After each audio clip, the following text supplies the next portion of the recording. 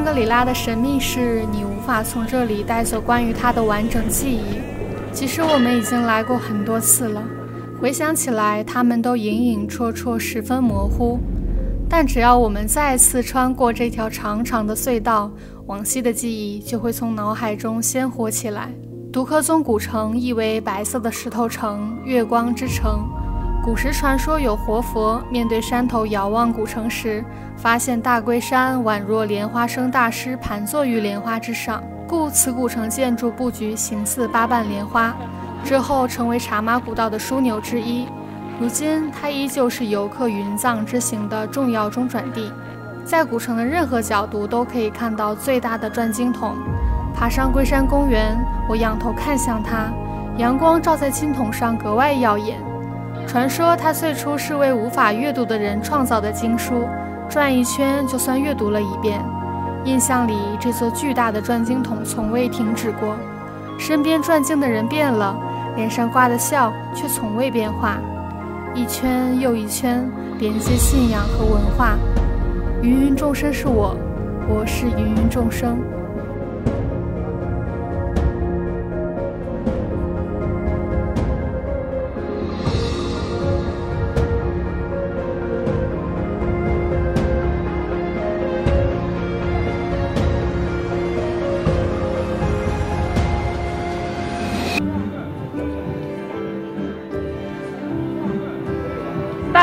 这家，我上去了。好，谢谢。吉祥如意的，好的。好。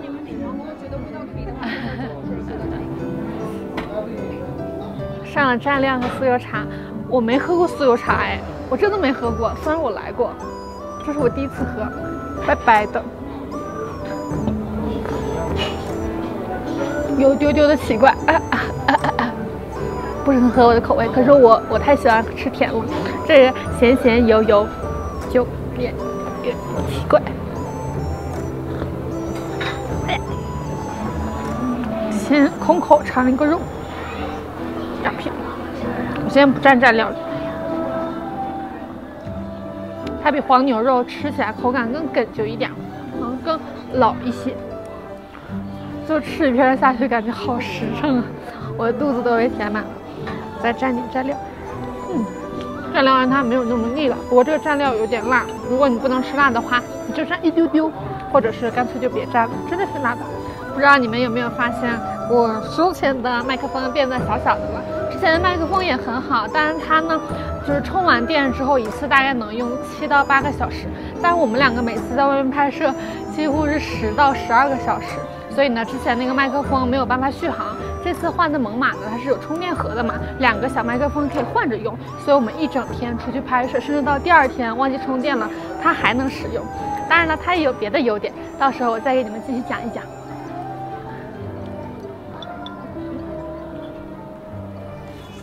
嗯，排骨肉好香。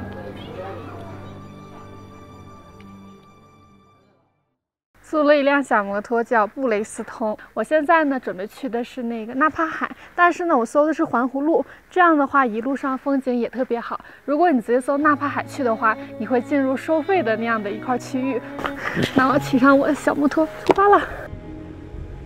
香格里拉市区内还是宽平的大路，走上环湖路就变成了窄窄的一条，被高山环绕着。再开上一段，就看不到旁边的绿色护栏路了。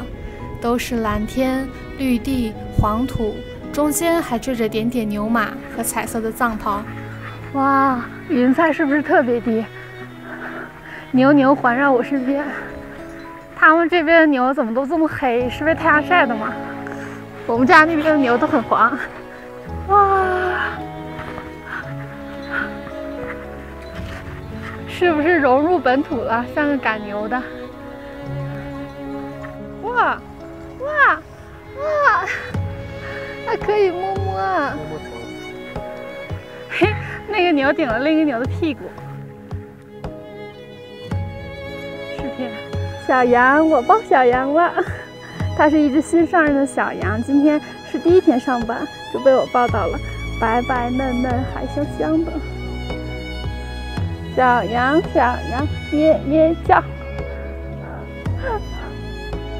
好辛苦的小羊，不过它还挺有精神的。嗯，它白白嫩嫩的，还挺听话。你溜达溜达。我放开它，马上就就跑了。啊啊啊！小羊。我一放下它，它就撒欢儿了。原来它不是不活泼，它只是被禁锢了。挺开心的，抱小羊之旅结束了。它多大了？这个小羊啊，才十天呢。它今天刚刚上花来。今 啊，新上任的好可爱，还。牵着小五彩绳，放牛娃的工作结束了。我觉得环湖路这一段呢，就适合你骑一个小电车或者是小油车，然后沿着路一直走。你看到好看的景色，你就下来拍拍照，溜达溜达，再坐一会儿，啊，看着大山，享受一下自然的美景，就蛮好的。我们下一站呢，准备去松赞林寺了。我身后就是松赞林寺了，然后它还有一个外号叫做小布拉达宫，有一丢丢像。然后如果有信仰的话，当然进去朝拜是比较好；如果没有信仰的话，过来看看它的外观也不错。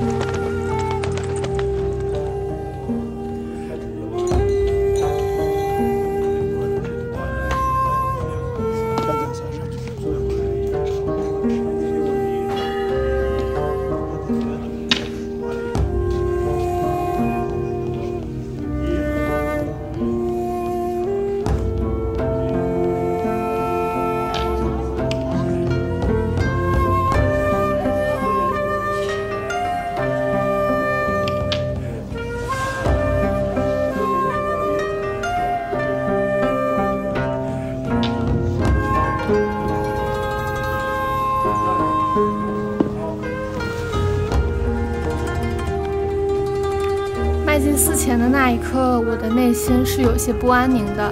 作为一名旅行者，希望能拍出许多精美的视频，有好的数据，得到更多人的支持。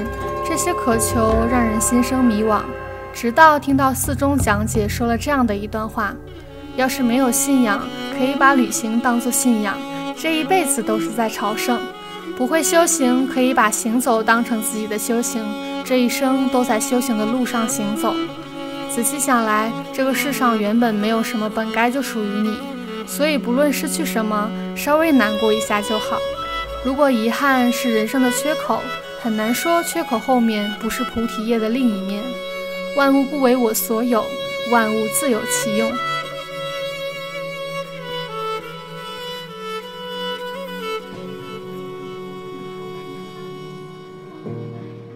骑车也挺累的，耗费了很多体力，所以呢，得吃点好吃的炒菜补一补。然后吃上菜了，我还没吃过呢，去尝一下。这几天光吃什么火锅、米线什么的，然后，吃菜，走吧。香格里拉小狗也太多了吧！我去吃饭的路上又碰到小狗了，哎，还是小金毛，这么小，我还没见过这么小的呢，好可爱。你可真漂亮啊！生了两个漂亮的宝宝。嗯，玩了会儿小狗，太饿了。小狗吃奶，我也想吃饭了，然后就找到了这家，是那种藏餐，团了一个券儿去尝一下。你好，两个人，你点完了，在这等一下菜。这个套餐还挺合适的，只要九十块钱。这里面一共是有四个菜，分别是包浆豆腐、藏红花煎蛋饼。炒时蔬野菜，还有一个铁板猪肉。铁板本土黑猪，就，是包浆豆腐、蛋饼、藏红花，这个东西不应该出现在菜里，实在是适应不了。然后猪肉有点越吃越香。嗯，就是他家招牌第一名，它肉很多，都很大力，在这个饭里。今天是在独克宗古城的最后一天了。早上从一个美丽的牦牛汉堡开始，这个是姐姐做的，听别人说特别好吃，但是我还没吃过呢。配一杯咖啡，我感觉我嘴张不了这么大哎，我嘴巴坏了。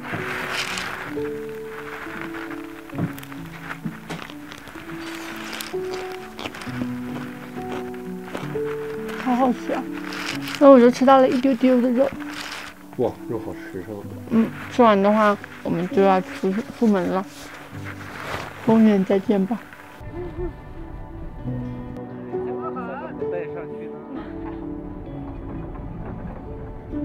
好，这是我们的登山杖，然后我们已经停在能停车的地方了。现在我们就要从这条线一直徒步上去了。哦，终于开始喽！猪，小猪，小都不怕。我们的目标是阿布吉措，这是我第一次高山徒步。真正的顺序是先到了这里，后去的雨崩。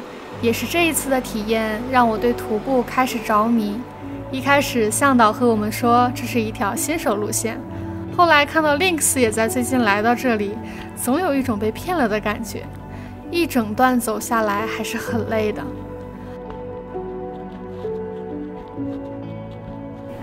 我们到第一个休息点了。然后向导大给我们准备了，这是粑粑，还有酥油茶是咸的。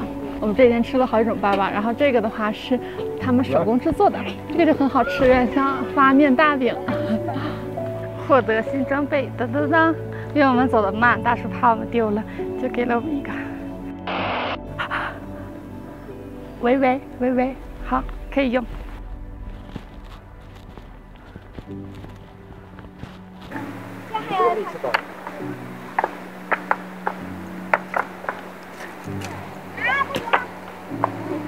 我也要对。咱们咱们全部在这里堆一个大的，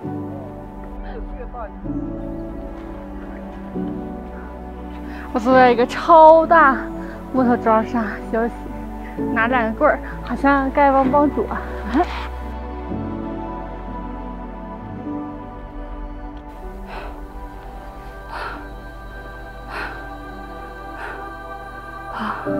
他离我好近啊！感谢小能抓到。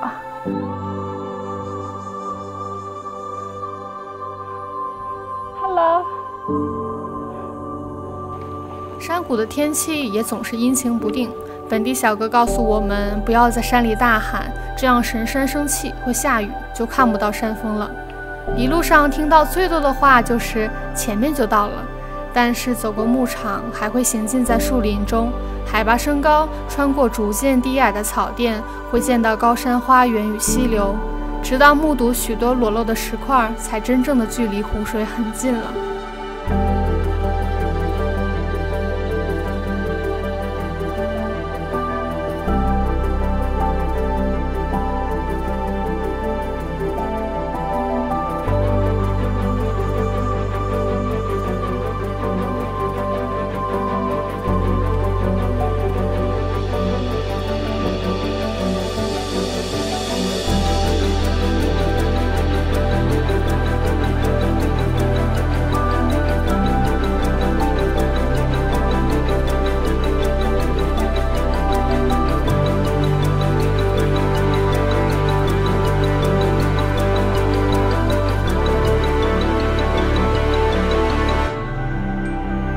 的人不只是足迹遍布世界，在我们的星球里有许许多多闪光的生命，是高山上坚强的野花，是逆旅而过鼓励你的人，是从上向下的溪水一路崎岖却总将汇入江河，是温柔的酥油茶，是高大的山。就我而言，这是本期视频的结尾，不过也可能是你出发的起点。做你想成为的人，加油！